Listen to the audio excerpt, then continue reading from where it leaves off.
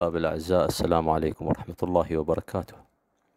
آه، محاضرتنا لهذا اليوم lossless compression algorithms عندنا two sections سويناها lossless compression algorithms والمحاضرة الثانية lossy compression algorithms موضوعنا هذا دا يتكلم عن compression algorithm خوارزميات الضغط. lecture ستة A lecture ستة A ننتقل إلى slide رقم ثلاثة. راح نستعرض في المقدمة بسيطة ونفتهم شنو ال information theory information theory هاي في شي مهم يعني نظرية المعلومات. أه نفتهم شنو ال entropy coding algorithm وشنو ال source coding algorithm okay؟ وشلون نجمع بيناتهم؟ lossless و image compression ناخذنا في التطبيق.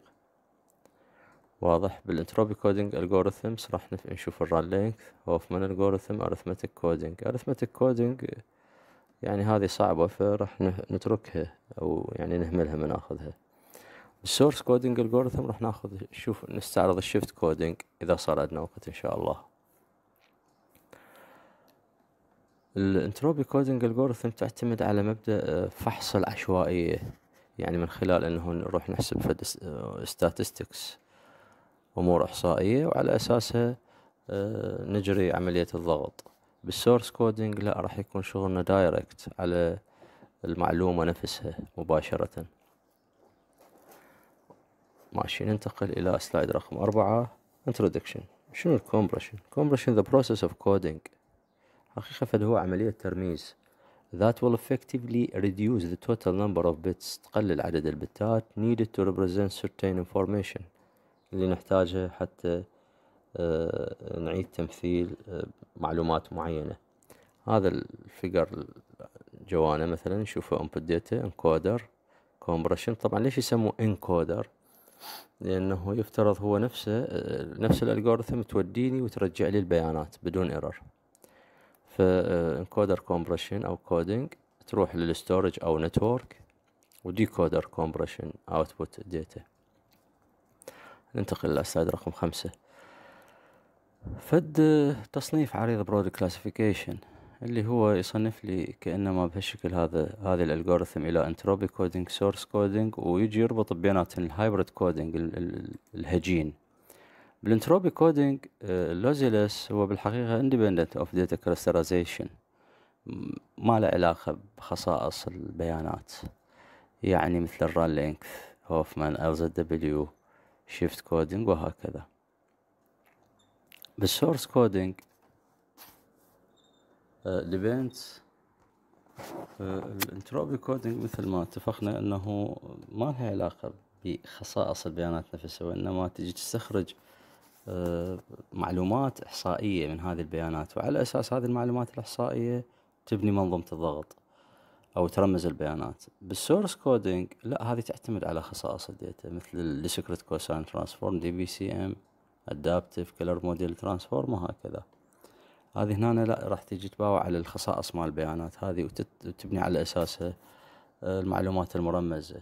بال hybrid coding يستخدم ما تستخدم بالحقيقة ال most MM system يعني multimedia أنظمة ال multimedia هو يربط لك entropy وال source coding مثل ال JPEG. اتش تو مئتين وثلاثة وستين MPEG هذه أنظمة ضغط فيديو. ماشي ننتقل إلى slide رقم ستة. ناخذ ليش إحنا نحتاج ال compression؟ الطلاب الأعزاء نشوف على يسار بال audio مثلا ال column اليسار. إذا كان عندي ثمانية كيلو هرتز ثمانية bit وبالتالي ثمانية كيلو per second فراح يكون عندي ثلاثين ميجا per hour وبالتالي أحتاج إلى مية جيجا بايت disk hold ثلاثمية وخمسطعش hour of CD quality music هذا رقم كلش كبير. كذلك بال uncompressed فيديو فيديو. شوف لساعة واحدة أحتاج إلى مية جيجا بايت وهكذا. بصورة عامة ال ال أكو فرق بين ال coding compression وال information theory ال compression هو refers to process of okay؟ آه، بينما ال information theory لا study study ال efficient coding algorithm تدرس كفاءة منظومة الترميز من نواحي ال complexity من ناحية ال compression من ناحية ال likelihood of ال error يعني أقصى خطأ ممكن أن تولده هذه المنظومة. ننتقل إلى slide رقم آه، ثمانية ال data compression ال data compression بالحقيقة هو branch of ال information theory ليش؟ لأنه minimize the amount of information to be transmitted transform uh, sequence of characters into a new string of bits same information المفروض content المفروض length as short as possible. يعني من أجل لو كان عندي ال information هاي نفترض نص حروف كلمات. يفترض إنه من نضغطها ونطلع string جديدة يجب أن تكون نفس البيانات يعني من نرجعها لازم ترجع لي نفسها بالضبط. وأحاول إنه أقلل ضغطها أو أقص أقلل من هذه البيانات آه، إلى أكثر قدر ممكن. ال concept slide رقم تسعة. concepts خلينا نأخذ شوية في المفاهيم. الكودينج the code. map source message from alphabet A into code word B. هذه يكون نفهمها. شنو الالفابت A وشنو الكود ووردز B source message sample is basic unit. Into which a string is partitioned. Can be a single letter or string of letters. Example. لو كان عندنا هذا النص نصوره A A فراغ B B. حتى الفراغ يعتبر character B B C وهكذا. فال alphabet مالتي هو الاي والبي والسي والدي والاي والاف والجي والسبيس الكود وورد هو zero one لو zero يعني لو one binary okay خلينا نأخذ بعد شوي ننتقل إلى slide رقم عشرة tax taxonomy of codes من أجي أقول block block block variable variable block variable variable هذا يخص الطرق طريقة الضغط أو طريقة الترميز. من أقول block block ال source message عند ال code word هي بالحقيقة fixed length مثل ال ASCII مثل ال ASCII عندي ال source message حرف وال code word مالته هو 8 bit من أقول block variable هنا ال source message ثابتة وال code word متغير الطول مالتها مثل الهوفمان coding راح نشوف. من أجي أقول variable block يعني ال source variable وال وال code word fixed ثابتة مثل ال run length encoding هسه راح نشوف. variable variable لا هنا ال source variable وال code word variable مثل ال arithmetic هذه هي الطريقة الصعبة اللي قلنا إحنا راح نتجاوزها إن شاء الله. Example of block block. لو كان عندي أريد أسوي coding لهذا ال string الموجود أمامي A A B B وهكذا. هذه تتطلب أه كم bit كم bit تتطلب. تتطلب مية وعشرين bit فال symbols مالتي ال alphabet هو A B C و space ال code word ثابت. لاحظ ال A أعطي zero zero. ال B أعطي zero zero one وهكذا وصولا لل space three bit فيسموه block block يعني من تريد تسوي coding لهذا ال message راح تروح شكو A تعوض بمكانه ثلاث صفارا شكو B صفرين واحد. ال space ثلاث وحدات وهكذا. أه طبعا ننتقل إلى slide رقم 12 traditional evaluation criteria. أه ال algorithm هذا يعتمد على ال algorithm complexity ال algorithm complexity يرتبط بال running time كل ما تكون المنظومة معقدة طبعا ال running time مالتي راح يصير طويل. وال amount of ال compression كمية ال compression redundancy إيش قد عندي؟ compression ratio هيجي معناه. okay؟ ننتقل إلى slide رقم 13 ال compression ratio ال compression ratio ما المقصود به؟ compression ratio هو النسبة بالحقيقة آه ما بين ال original bits عدد البتات قبل الضغط آه إلى عدد البتات بعد الضغط. أنا كان عندي قبل الضغط مثلا ميتين بت بعد الضغط عندي مية بت. فهنا ال compression ratio مالتي قد صار اثنين إلى واحد صار اثنين ضعف وهكذا. ناخذ ال entropy coding algorithm ال content dependent coding ال run length encoding هذا اللي قلنا إحنا شو يسموه؟ يسموه block variable العفو variable variable block هنا شنو؟ the sequence of the same consecutive bytes with number of occurrence. Number of occurrences indicated by a special flag. هذا علامة التعجب. Example إذا كان عندي source message هذه عشرين بايت فال run length coded شو يقول؟ يجي يقول طبعا يجي هنا يحسب عدد التكرارات. ال run length. run length. length. طول آه، الرنة الوحدة يعني التكرار. فيجي هنا يلقي حرف اي حرف ال A نزله مثل ما هو. حرف ال B نزله مثل ما هو. يجي ال C لا راح يشوف وراه C هواية. فيستحق إنه يبدل ال C يقول أنا عندي حرف C وعلامة تعجب يعني ال run مالته طوله تسعة. يجي عندي حرف ال D نزله مثل ما هو حرف ال E نزله مثل ما هو حرف ال F لا راح يجي يقول F وطول ال run مالته أربعة. من يجي يوصل لل G G ينزله مثل ما هو لأنه ما معقول أبدل ثلاث بايتات بثلاث بايتات أخرى. فحصلت حصلت بدل ما كان عندي عشرين بايت ربحت صار عندي 13 بايت يعني ربحت سبع بايتات. هذا هو الضغط. فال run length يكون قوي إذا كان عندي run آه، طويل. نعم ننتقل أيضا ل slide رقم 15 ال Huffman coding ال Huffman coding هو statistical encoding to determine Huffman code طبعا هذا Huffman code هو في هوفمان هو في العالم ألماني توفى الله يرحمه بالستينات بأيام يعني خمسين أربعينات أربعينات خمسينات. صمم هذه الطريقة طريقة تشفير واستخدمت بعدين للضغط. خلي دارك ننزل نشوف مباشرة شلون يصير عندي الترميز بهذه الطريقة. Example how does a Hoffman code look like for samples of the statistical samples occurrence probabilities? هنا شو يسوي الهوفمان؟ أول شي يروح يحسب الاحتمالية مال الأحرف. يعني يجي يقول probability للاي هو عند ثلاثة إلى عشرين. أنا العدد الكلي مال الأحرف عندي عشرين حرف. وال probability وال A عندي ثلاث أحرف. فأقسم ثلاثة إلى عشرين راح يصير probability. الثلاثة هو تكرار ال A والعشرين العدد الكلي للأحرف. Probability لل B عشر إلى عشرين ال C واحد إلى عشرين ال D ثلاثة إلى عشرين وال E اثنين إلى عشرين. افرض إنه أعطيتك مباشرة يعني هذه البيانات إيش راح تسوي؟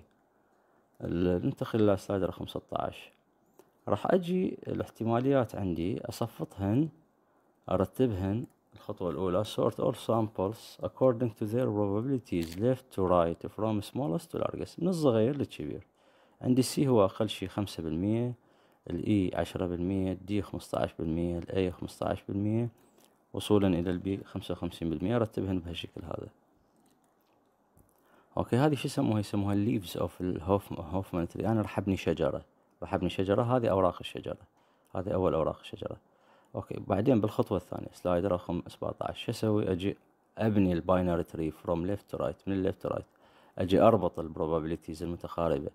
مثلا السي هو قريب للاي أربطهن أقول ال probability لل C E هو point خمسطعش بالمية.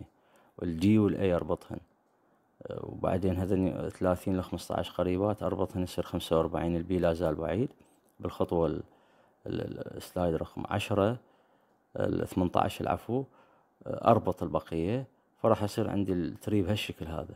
صار عندي probability C C E D A B يطلع عندي واحد. أه شو أسوي هسه؟ أجي أرقم هذه ال branch أرقم ال branch. ال left أعطيه zero وال right أعطيه one وهكذا. فراح تصير عندي branch مرقمة. أروح أستخرج هذه ال branch في slide رقم تسعة عشر. راح يصير عندي هنا شنو معناها؟ حتى أوصل شوف هذه sample A صار عندي zero one one يعني حتى أوصل لل A أبدي من فوق zero one one هذا ال path مالته. ال B حتى أوصل لل B ال path مالته one C حتى أوصل له zero zero zero ال D حتى أوصل له zero one zero ال E zero zero one لاحظنا إنه ال sample مالتي block وال code word variable واضحة إن شاء الله الطريقة لهنا انتهت هذه الطريقة ال Huffman ننتقل إلى الطريقة الأخرى اللي هو ال source code اللي هو الدي بي سي ام دي بي سي ام هي differential slide رقم عشرين differential pulse code modulation هذه بسيطة تقريبا الطريقة أه ننتقل إلى slide مباشرة رقم اثنين وعشرين. شوف هنا راح أعطيك مثال مباشرة. مثلا أنت لو كان عندك صورة يعني صورة خلينا نطبق الموضوع على صورة. Given an original image intensity xy using a symbol difference. Operator we can define different image. D. as follows d يساوي من ال I الحالي اللي أنا بيه أطرح منه ال I اللاحق x زائد واحد y وهكذا. فاذا ال D sub x y بالحقيقة يساوي لي ثلاثة في ال... إذا أريد أطبقها بال two dimension ثلاثة في ال I minus I x minus one y minus one مثل ما نشوف هذا المربع. هنا أنا أطرح هذني الثلاثة من ال I sub x y أكبر ال I sub x y وأطرح. Okay؟ ننتقل إلى slide رقم ثلاثة وعشرين. لو تلاحظ هذا الصورة ال original هذه ال partial derivative طبقناها طبعا ضفنا لها مية وثمانية وعشرين. شوف الهيستوغرام اوف الأوريجينال والهيستوغرام اوف الديريفيتيف distribution of الأوريجينال versus image. آه، خلينا نباوع على ال partial هذه derivative يعني الصورة الصورة A B. هذه الصورة B تتطلب بتات أقل من ال original gray طبعا شلون نرجع ال information إحنا يفترض إنه أول بيكسل أول بيكسل عندي قيمته عندي قيمة الرقم مالته. خلي ناخذ شوية مثال هيجي بهالشكل حتى نقرب الصورة أكثر. اترك الصورة. نتصور إنه أنا عندي مجموعة أرقام واحدة ورا الأخ ملف صوتي رقم ميتين يجي وراه ميتين ثلاثمية مية وخمسين وهكذا. مثلا على سبيل المثال. تجي تباوع على هاي الأرقام. شلون تطبق عليها ال DPCM difference pulse code modulation تيجي تقول آخذ أول رقم مثل ما هو هذا اوديه ادزه أقول هذا يابا هذا ضغط هذا الرقم ال original. الحالة الثانية اللي أدزها أدز الفرق بينه وبين اللي بعده. ثالثا أدز الفرق بين اللي يعني بين رقم اثنين وثلاثة. الفرق بين رقم ثلاثة وأربعة الفرق بين رقم أربعة وخمسة وهكذا. أدز فقط الفروقات. عادة البيانات عندي تكون متقاربة. يعني لو كان عندي مثلا على الأرقام ملف صوتي راح تكون عندي الأرقام بهالشكل هذا مثلا ميتين يجي وراه ميتين يجي وراه ميتين. إذا كان عندي نزول ففت خمسين رقم يلا يبدي ينزل يبدي يصير مية وثمانية وتسعين مية وثمانية وتسعين مية وثمانية وتسعين وهكذا. فبما أنه الأرقام تكون دائما متقاربة بالحالة الطبيعية فأستغل هذا التقارب وأحصل على نسبة ضغط عالية. طبعا أكو في ال example شباب آه، نهاية ال slide ال slide رقم خمسة وعشرين أرجو أن تطلعون عليه. وشكرا جزيلا والسلام عليكم ورحمة الله وبركاته.